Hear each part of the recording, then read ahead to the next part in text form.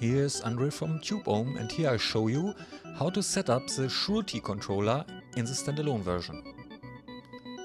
At first, we do the MIDI settings. MIDI input port here for your master keyboard and the MIDI output port.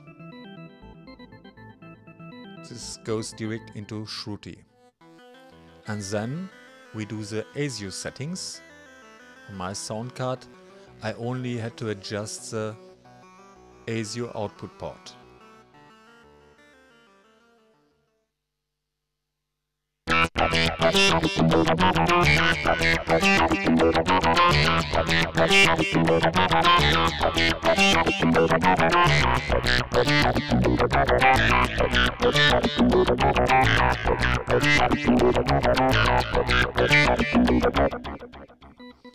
Now we can select other sound patches in the internal patch browser. Here's another sound.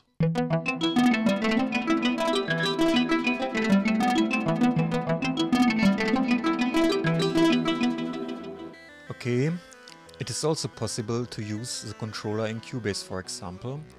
For this we need one audio track and two MIDI tracks.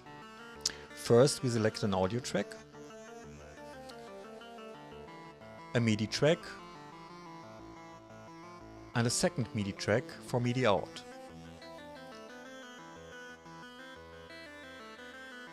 Use the controller as an inset effect in the audio track. Then make your MIDI in settings. In is your master keyboard. Out is the Shruthi controller.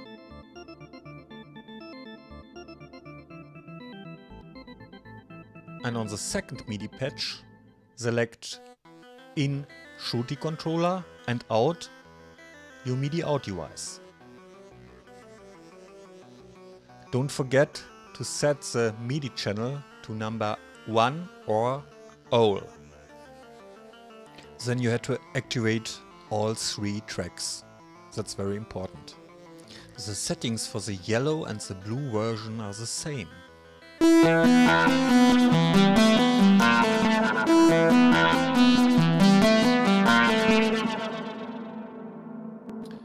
Yeah, that's it. These are the MIDI and ASIO settings for the controller.